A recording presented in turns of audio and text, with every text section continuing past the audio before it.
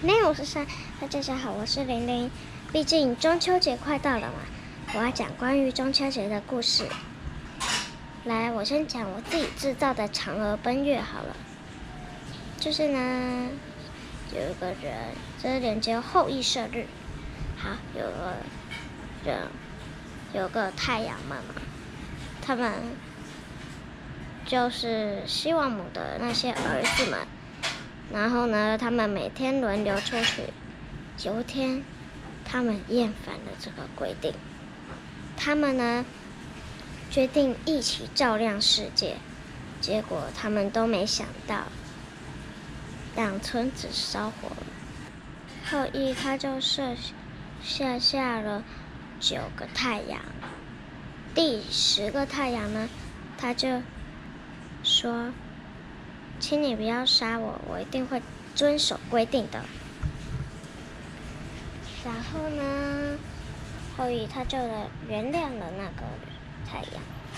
他有天在森林捕猎的时候，看到了一个女生，他就跟那个女生说：“你怎么了？”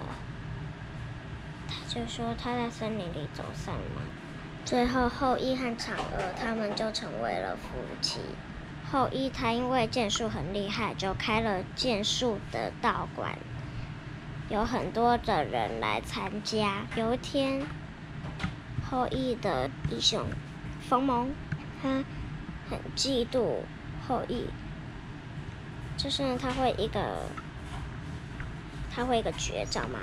可是那个冯蒙也是神射手，只不过他不会那一招，他就很嫉妒说。他会绝招，还有妻子的，还开道馆，我什么都没有，他就很嫉妒。那有一天，因为希望我生气了，就叫后羿去找他。然后呢，然后呢，他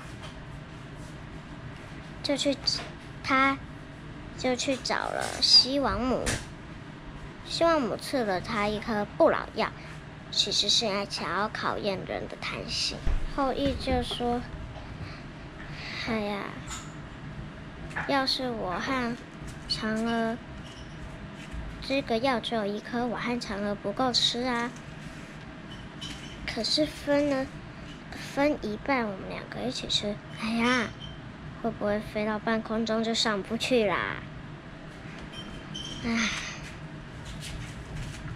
于是呢，后羿他就问了冯蒙说：“哎呀，药只有一颗，我和嫦娥都没办法吃。然后呢，我们就说，那你干脆给别人嘛。然后呢，后羿就说：好点子。他就说：你真是我的好兄弟，我决定了，我和。”嫦娥都不吃，我给嫦娥保管。有一天，冯蒙趁后羿带着他们的学生去打猎的时候，冯蒙他闯进了嫦娥他们家，然后就要跟嫦娥拿不老药，结果嫦娥没路逃了，所以他就。直接吞下了不老药，成仙往天飞去了。顺皮就乖完，刚才还在听我的是小铃铛，给收视频通知还在认上，下次见，拜拜。